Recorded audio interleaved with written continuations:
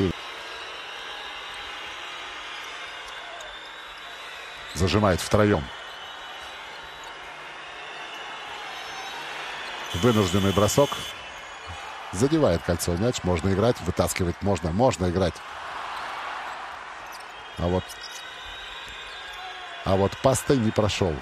Это уже третий такой блок. Хорошо, хорошо. Хозяева работают здесь. Ну, решили успокоиться. Вот 10 секунд розыгрыша.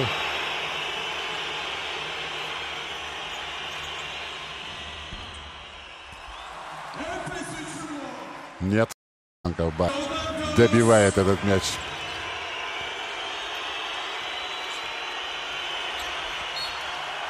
По правилам центрового, двумя руками, надежно и четко.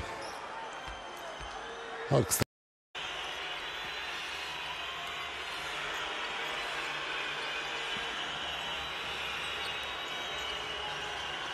Избрали такую расстановку сейчас. Ферна. Пока это два лидера.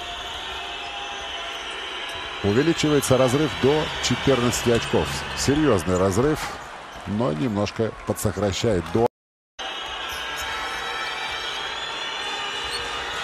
Опять зона вся открыта. Посмотрите, как все, все. Вот только центральный игрок входит туда. И, как говорится, все для тебя.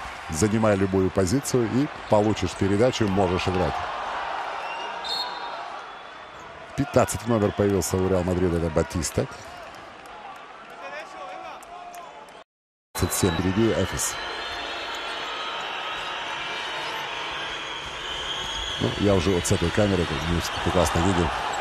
Опять все-таки Жарни, э, Жарнис, прошу прощения. Э, и команда Реал Мадрид избрала вот эту тактику все-таки игры на периметре с освобождением зоны.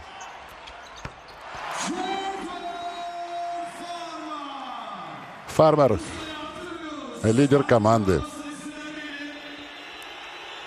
Это именно что около 50% результата он делает в одиночку. Мяч засчитан и еще бонусный штрафной.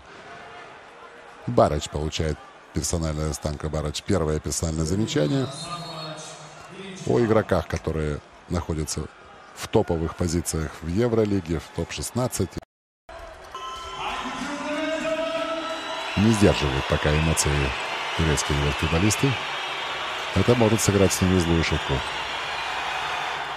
С Реал Мадридом так шутить нельзя. Но это был вынужденный бросок. Владение заканчивалось.